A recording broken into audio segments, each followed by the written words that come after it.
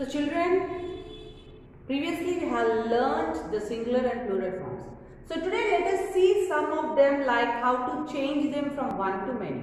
So previously we discussed that you can write something ending with O, S, X, CH and SH can be written by using ES form. So the words which are ending with O, which are, ending with S, X, CH, SH, Z, we can use ES. Okay, so basing on that, how to change? If they give you some word like bus, so how do you change it? We change it as buses. Now, how to write in sentences? So, bus. If there is a bus, singular, we want to use the bus. The bus is going. So, already you learned how to write by using the verb forms. The bus is going. Ramu is going. So, in that way, wherever this is the first one is subject, means we can use the name. We can use the name and we can say something about that. Otherwise, by using I have sentences. Previously, you learned how to use I have. So, you can write I have a bus. Or you can say I have three buses because a singular one is followed with a and for plural we can give the numbering or we can say I have many. Many means more than one. So I can say I have many buses or I can say I have some. I have some buses. So in this way when we are writing them in the form of the sentences, if singular we are using, we want to say a, a bus.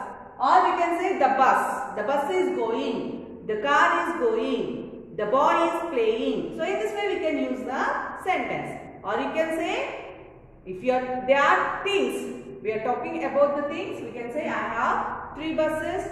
I have three cars. I have three pencils. So in this way we can frame the sentences or any any verb forms when they are the action doing things. So if we say the boy, we can say the boy is playing. The boy is playing. Then what about when we are speaking a plural form of the boy? We can say the boys.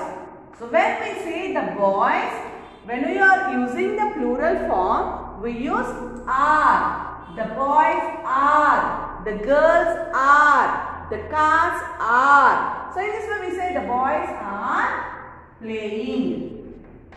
The boys are playing. So if we say about the things, I have a bench. I can say I have a bench because when CH is there, when CH is there, we want to use ES. So in this way, we write them as I have three benches. Bench, adding with ES. I have three benches. And don't forget that you want to use a capital letter and end the sentence with a full stop. Okay. So in this way, we are going to frame the sentences. So whenever you are changing from one to many, remember that we can use a singular A, a singular A and for plural we can use the number, many or some. So such type of words we can use to represent many. Means more than one. Means for plural forms we use the number more than one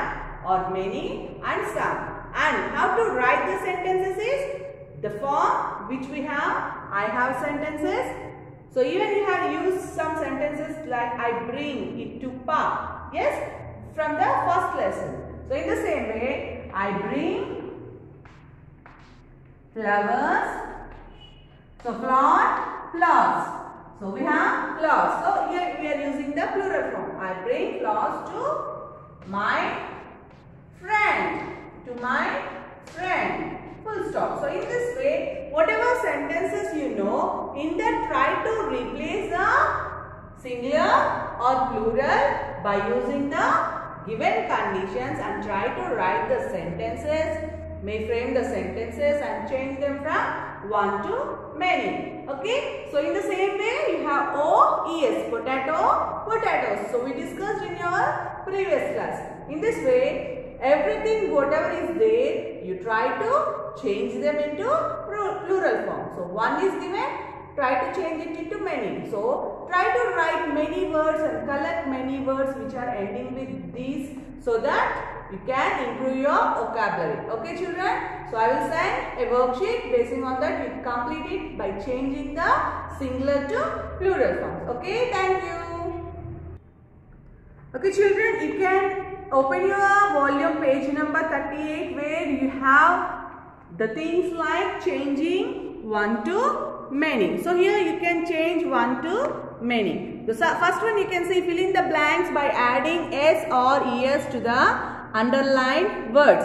You can see some words are underlined there. Try to change them. Observe with what letter they are ending Basing on that, you must add the things. Okay. Now, draw and write sentences with one and many things.